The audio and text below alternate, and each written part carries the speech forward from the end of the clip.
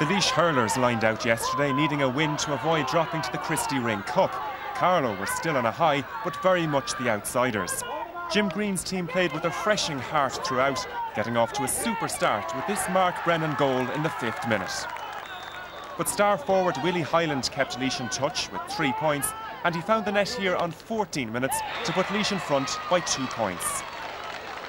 Having only joined the Laois panel 10 days previously, promising teenager Dane Peacock from Abbeyleix scored his first goal for his county on the half hour. This was the decisive period of the game, with Laois holding their opponents scoreless for the final 13 minutes of the half while adding 2-5 themselves. Tommy Fitzgerald got their third goal as the O'Moore County had built up a 12-point lead by half-time. On the resumption, Carlow struck for an early goal again. Craig Doyle here getting the final touch. But the experience of playing at a higher level was now standing to Laois, while Carlow, who were in action for the fifth weekend in a row, began to tire. Substitute Niall Holmes scoring Laois's fourth goal. The loudest cheer of the day followed this goal late in the game from Des Murphy. It seemed like the perfect way to end the Michael man's 19-year involvement with the Carlow hurlers. Murphy and his teammates were given a guard of honour by Laois as they left the field, Laois running out 10-point winners to secure another year of top-flight hurling. They've achieved a lot this year already. We got what we wanted in the league and we won the Christy Ring and we're in the Walsh Cup next year, they tell me. So overall it was a good year, but it would have been nice to win today, but the tank was empty. There was a bit of pressure on us coming down to Carlow today after they had such a fine win last Sunday evening against Westmeath. But uh, we got in and got the job done and that was the most important thing, to play for 70 minutes and get our result and get over. of it.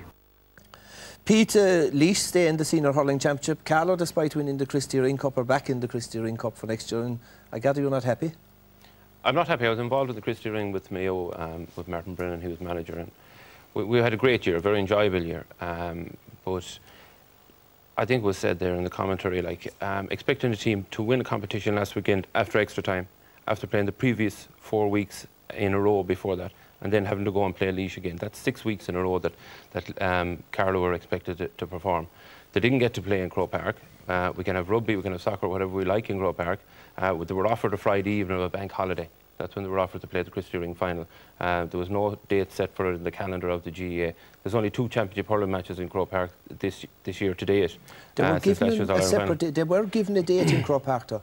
They were given a date along with with, with, the, with, with Dublin, I think, um, on the on the Saturday as well as well. But like th that's not conducive to, to, to, hurlers. Like why wasn't it played in between the minor and, and the senior game today? Why isn't it played the day of the All Ireland final? Like these guys train equally as hard as as, as um, the guys in, in Division 1 and, and the Kilkennys and the Galways. Uh, we trained maybe four nights a week. Uh, guys travel from Dublin to train. Um, there's lads playing 10 years with, with, with, their county and they don't get an opportunity to play in Croke Park. I think, I think it's very poor. Declan, would you agree with Pete? Yeah, absolutely. It should have been showcased on a, on a hurling day as opposed to maybe slipping it in to just accommodate before a football game.